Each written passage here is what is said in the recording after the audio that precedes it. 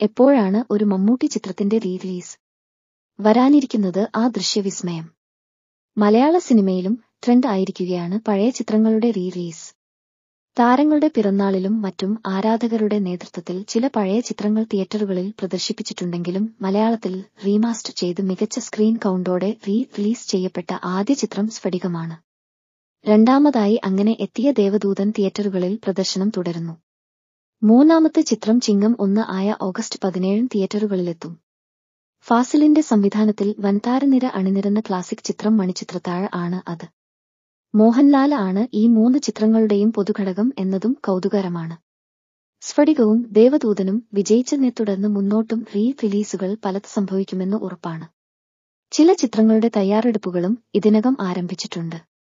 മമ്മൂട്ടിയുടെ ഏത് ചിത്രമാണ് തിയേറ്ററുകളിൽ നിങ്ങൾക്ക് വീണ്ടും കാണാൻ ആഗ്രഹമെന്ന ഒരു ചോദ്യം സോഷ്യൽ മീഡിയയിൽ സമീപകാലത്ത് പലയിടത്തായി കണ്ടിരുന്നു. ഒരു മമ്മൂട്ടി ചിത്രം പ്രേക്ഷകരിലേക്ക് വീണ്ടും എത്താനുള്ള തയ്യാറെടുപ്പുകളിലാണെന്നതാണ് വാസ്തവം. എം ഡി വാസുദേവൻ നായരുടെ തിരക്കഥയിൽ ഹരിഹരൻ സംവിധാനം ചെയ്ത് ആയിരത്തി തൊള്ളായിരത്തി എൺപത്തി ഒൻപതിൽ പുറത്തിറങ്ങി മലയാളത്തിലെ ക്ലാസിക്കുകളിലൊന്നായി മാറിയ ഒരു വടക്കൻ വീരഗാഥയാണ് ആ ചിത്രം. മണിച്ചിത്രത്താഴിന്റെ റീമാസ്റ്ററിംഗിന് നേതൃത്വം നൽകുന്ന മാറ്റിനി നൌ ആണ് ഒരു വടക്കൻ വീരഗാഥയും ഇത്തരത്തിൽ എത്തിക്കാൻ ശ്രമം നടത്തുന്നത്. എന്നാൽ ഇതിന് ഏറെക്കാലം എടുക്കുമെന്ന് മാറ്റിനി നൌ പ്രതിനിധി അജിത്ത് രാജൻ മീഡിയ വണ്ണിനോട് പറഞ്ഞു.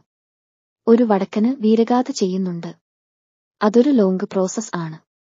എത്ര സമയം എടുക്കുമെന്ന് പറയാനാവില്ല പക്ഷേ അതൊരു നല്ല പ്രോജക്റ്റ് ആയിരിക്കും. വടക്കന് വീരഗാഥ ടിവിയിൽ കാണുമ്പോൾ ക്രോപ്ഡ് ആയിട്ടുള്ള ഫ്രെയിമുകൾ ആണ് കാണാനാവുക.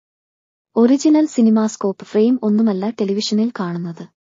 സൈഡിൽ കട്ട് ചെയ്യും. പക്ഷേ റീമാസ്റ്ററിംഗിനു വേണ്ടിയുള്ള സ്കാനിംഗിൽ ഫുൾ ഫ്രെയിമോടെ കിട്ടും. തിയേറ്ററിൽ കാണുമ്പോൾ പുതിയൊരു എക്സ്പീരിയൻസ് ആയിരിക്കും അജിത്ത് രാജൻ പറയുന്നു.